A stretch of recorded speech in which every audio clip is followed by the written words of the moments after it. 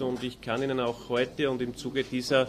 Pressekonferenz berichten, dass wir zum jetzigen Zeitpunkt äh, drei Personen in Ungarn in Haft äh, haben, wovon wir ausgehen, dass das hier wirklich äh, die Spur ist, die uns zu den Tätern führen wird. Wir gehen davon aus,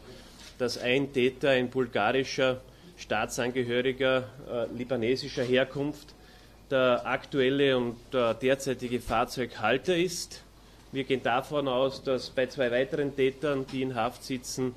ebenfalls ein bulgarischer Staatsangehöriger und eine Person mit ungarischer Identitätskarte, wo wir die Staatsangehörigkeit noch nicht festgestellt haben, dass es sich bei diesen zwei weiteren Personen äh, mit einer ziemlich, mit ziemlicher Sicherheit um jene Personen handelt, die das Fahrzeug gelenkt haben.